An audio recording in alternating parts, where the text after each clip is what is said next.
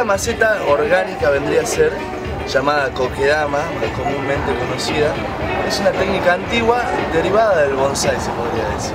Una técnica que nace en el oriente. Bueno, la idea de la kokedama es no solo tener una planta que sea decorativa, ornamental, eh, que tenga presencia, su energía, sino tener eh, esta misma planta pero con la forma más fácil de cuidar, en este caso la la idea de la kokedama es hacer que la planta crezca en un, eh, en un ambiente natural este, y que crezca de forma más lenta. Esto sucede por medio de la presión que se le hace a la raíz con el sustrato, que es una mezcla de turbas, tierra, un sustrato que, que tenga una, un buen drenaje y cantidad de acidez para la tierra. Y una coquedama te lleva aproximadamente 40 minutos, una hora confeccionarla.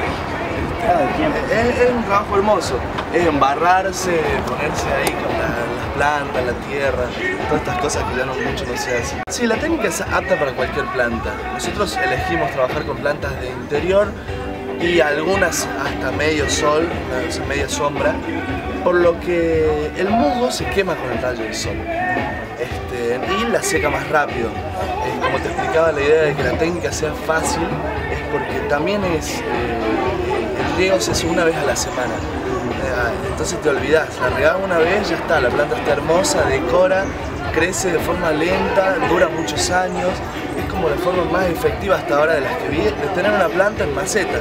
¿Qué es una maceta? Solo que es orgánica, hecha con, todo con elementos naturales. Y es preferente porque en el interior por ahí no altera, no se altera mucho los climas.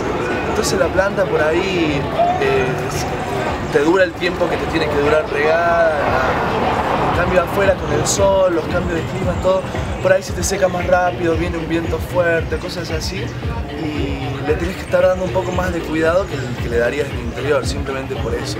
Pero la técnica es apta para cualquier planta. Y la coquedama tenés desde 70 pesos en adelante, ¿sí? hasta 300, 400 pesos.